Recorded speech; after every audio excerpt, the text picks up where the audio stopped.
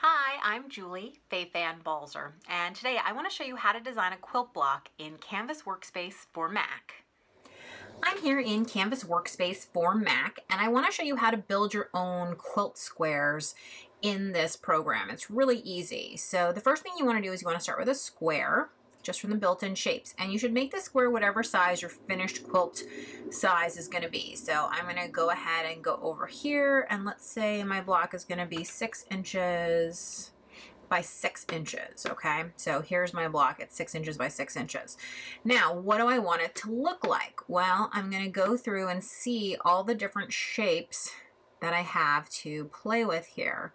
So how about if we do something, I'm trying to see what strikes my fancy as being a really fun, this is kind of a fun shape. So I'm going to put this here, but of course it's not big enough if I want this to fill the whole thing. So I can actually go over here and also make it six, tab over, and that makes it six by six. So that essentially this is what my block will look like. But you can see that they're not perfectly aligned. So I'm going to select both parts and go ahead and center and middle align them. And now I know that they're sitting in there perfectly. And if this is what I want my block to look like, that's great. But what if I actually also want, let's say a circle in the middle or a rectangle in the middle or a diamond or anything else? I can go ahead and I can add that too. So let's see, how about, let's do a triangle. And then I can figure out how I want this to work. So for piecing it, what's going to be the easiest versus the hardest, right? So I can make it so that it touches all of my different edges.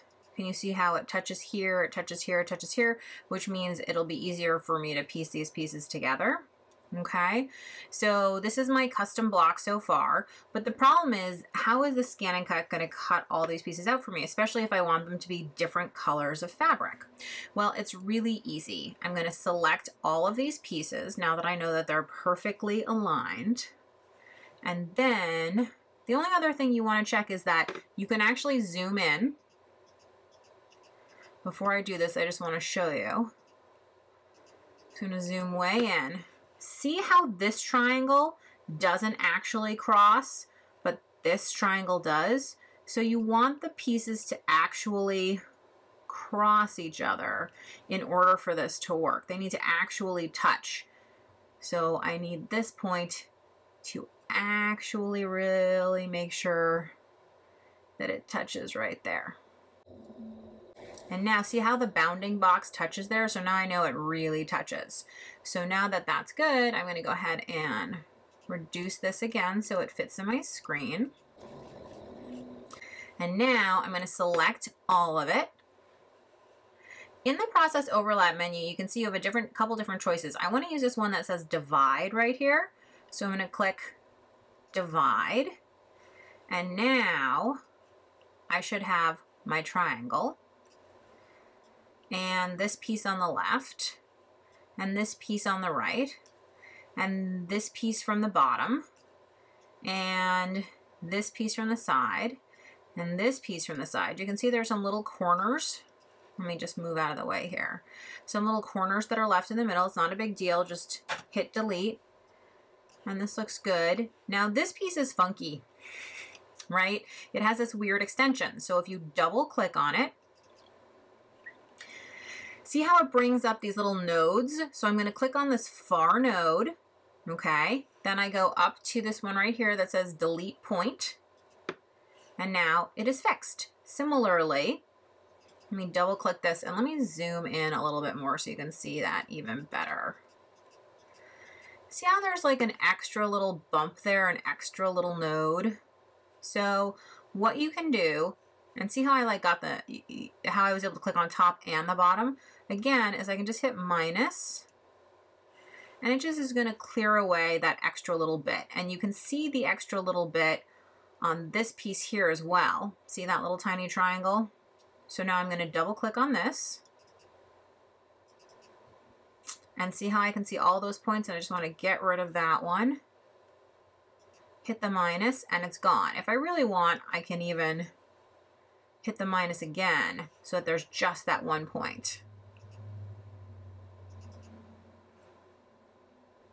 I can do the same thing on this one, just clean it up so that there's only one point. Okay, and now I know that my file is totally clean and looks great. So let's zoom out again. Now I can sort this by color. So I'm going to assume that all of these um, half quarter circles rather are going to be the same color.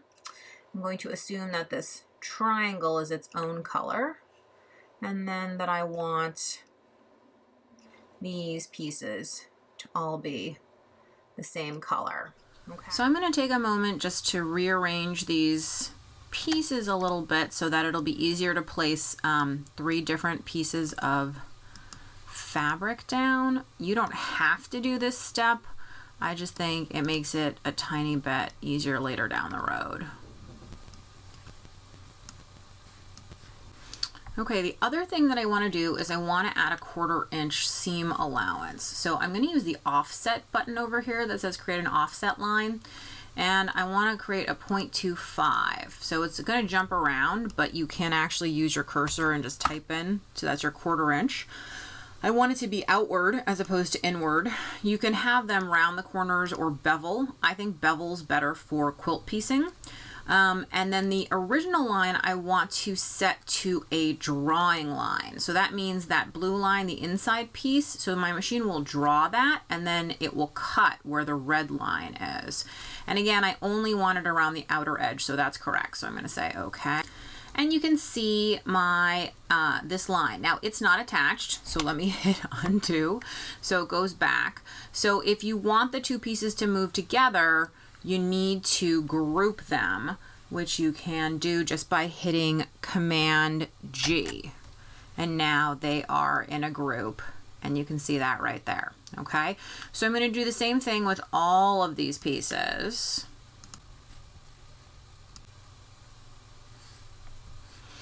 And you can see how in some places they maybe now overlap, so you've got to do your Command G, this is in Canvas Workspace for Mac. If you were in Canvas Workspace for PC, there'd actually be a grouping option. So because I'm in Mac, there isn't a grouping option. You have to actually just know the keyboard shortcut. Okay, so this looks great. I'm going to do these last four. And you can see that the defaults stay the same that you already set them until you change them. So it makes it very easy to do. And I'm going to group each of these. And of course, I want to move them apart so that they're not totally on top of each other. Um, I might actually also want to move this piece because it seems like it's going to be hard for me to lay the fabric on the mat so that that doesn't interfere. And then I don't like anything to be super close to that outer red line, so I often just scooch things a tiny bit so that they're more towards the center of the mat. That's just a personal preference. I find that if we I start cutting too close to the edge, um, sometimes it, I run into some problems. So this just helps me make sure that everything is in good shape. Okay, so I wonder if I should move this piece even more tucked away here. I'm not worrying about straight of grain or anything like that. But if you're a person who does think about those things, then you might want to lay this out differently. Okay, so this looks good enough to save and to send on over.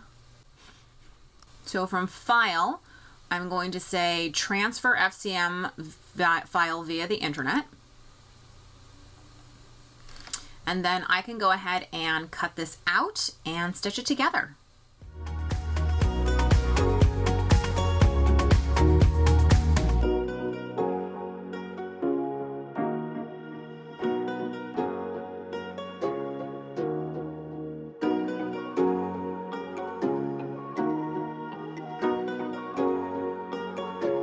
And now here is the finished quilt block just as we designed it. So that's super duper cool. You can make a quilt and design all the blocks in Canvas Workspace.